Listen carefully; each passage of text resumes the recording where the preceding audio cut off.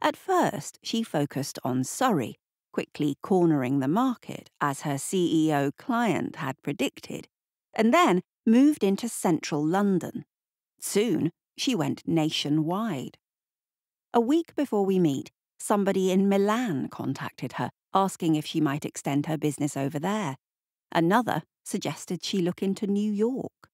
Perhaps inevitably, she has received much media attention.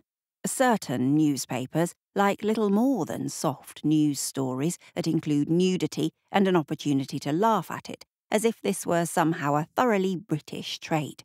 I tell her that the knee jerk reaction to her company must surely be one of suspicion, that it's all very well targeting purported naturists, but how do you police your clients? How do you perform background checks before sending women, who may or may not be vulnerable, into the homes of strangers, quite possibly strange ones? She tells me that they are unable to do background checks, but that they do take their bank details and request that they read their terms and conditions closely.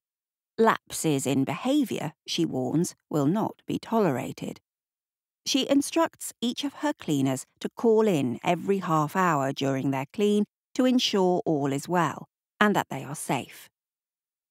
I did, like you, think at first that it might all be seedy and unpleasant, but I can tell you that it has all been very professional so far, she says.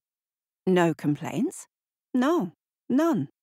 Actually, yes, just one from a client who said that the cleaner we sent was too shy and was hiding behind the sofa.